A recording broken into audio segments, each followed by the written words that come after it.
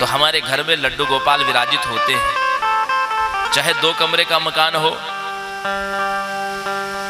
तो भी एक छोटा सा मंदिर होता ही है घर में, और उसमें छोटे से सिंहासन पर लड्डू गोपाल विराजमान होते हैं। उनकी सेवा हम बचपन से देखते चले आते हैं। घर घर में जन्माष्टमी, रामनवमी आदि के पर्व मनाए जाते हैं। भगवान के भजन, नाम संकीर्तन रामचरितमानस का पाठ आदि, ये सब हम लोग को बहुत सहज प्राप्त हो जाता है। और आरंभ में ये सब गुण प्राप्त होने से भगवान श्री कृष्ण की भक्ति भी सहज प्राप्त हो जाती है। लेकिन ये संभव कब है? जब आपका भारतवर्ष में जन्म हो, हिंदू परिवार में जन्म हो, वैष्णव परिवार में आपका जन्म हो तब तो ये सब सब कुछ सहज है, अन्यथा नहीं।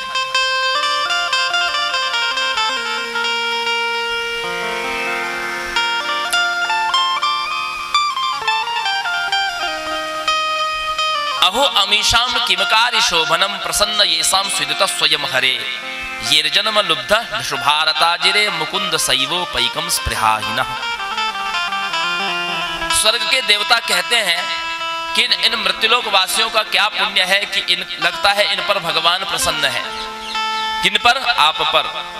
ये स्वर्ग में देवता प्रशंसा कर रहे हैं कि लगता है इन पर भगवान मुकुंद प्रसन्न है क्योंकि इनका जन्म नृषु भारता जिरे भारत में इनका जन्म हुआ है। क्योंकि भारतवर्ष में जन्म लेने के बाद ये भगवान श्री कृष्ण की भक्ति करने वाले हैं। मुकुंद मुक्ति में ददाति इति मुकुंद जो मुक्ति को देने वाले हैं, ऐसे भगवान मुकुंद श्री कृष्ण की भक्ति करेंगे।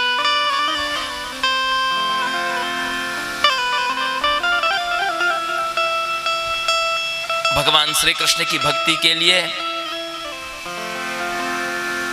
बड़े बड़े विरले लोग भी, विरले देवता भी भगवान की भक्ति को तरसते हैं। और भगवान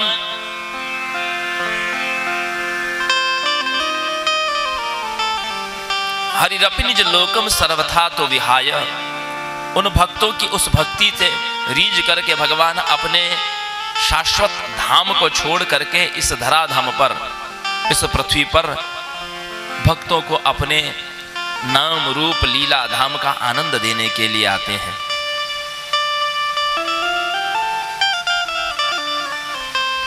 जिसका आस्वादन पांडवों ने किया। परीक्षित भी उसी कथा का आस्वादन करने के लिए आतुर थे। वो तो केवल एक औपचारिकता के नाते प्रश्न कर रहे थे। वो जानते थे कि म्रियमाण व्यक्ति को क्या करना चाहिए। परीक्षित ये भी जानते थे कि व्यक्ति के लिए कर्तव्य क्या है, किसकी कथा सुनना चाहिए। लेकिन वो सुखदेव जी के श्रीमुख से सुनना चाहते थे, इसलिए उन्होंने प्रश्न किया। सुखदेव जी ने प्रश्न के उत्तर तो दे दिए। फिर पूछा, भगवान, ये बताइए, भगवान इस सृष्टि की रचना कैसे करते हैं?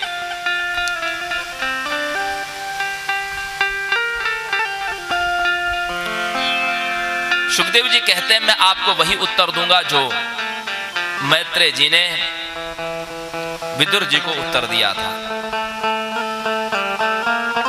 परीक्षित ने कहा कि विदुर जी विदुर जी की मैत्रेय जी से भेंट कब हुई?